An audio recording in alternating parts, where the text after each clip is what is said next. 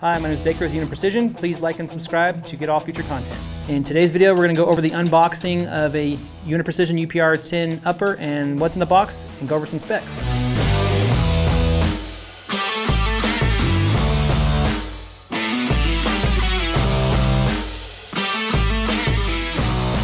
So our current standard offerings for the UPR 10 series is a 26-inch uh, 6.5 Creedmoor, a 26-inch 6mm Creedmoor, and a 24-inch 308.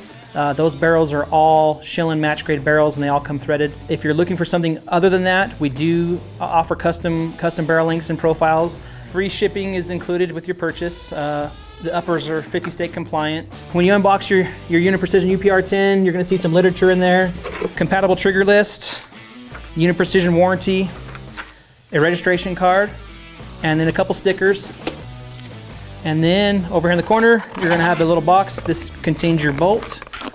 Inside the box is your one piece 4140 steel bolt. These are threaded to the industry standard, so if you wanted to change the bolt knob, that is an option. So your aftermarket bolt knobs will fit.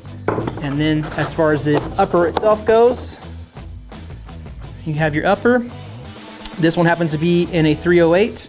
Um, so with our, our UPR 10s, they come with a 15 inch M-LOK handguard and the receiver itself is a one piece receiver and it has a 20 MOA base machined right into it. So basically pull it out of the box, put your bolts in there, drop it onto your DPMS LR308 lower and you're ready to hit the range. Um, all of your DPMS accessories are compatible with this upper. So if you don't like this M-LOK handguard, you can change it out as long as it's a DPMS compatible version.